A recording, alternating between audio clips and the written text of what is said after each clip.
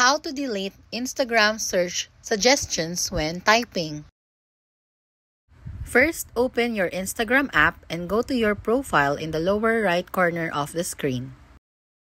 Now click the three lines in the upper right corner and then select your activity.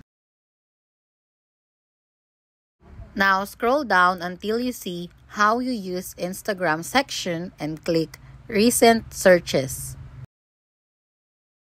Now you can simply delete or remove your searches by clicking the X in the right side of the name or simply click clear all if you want to delete everything at once.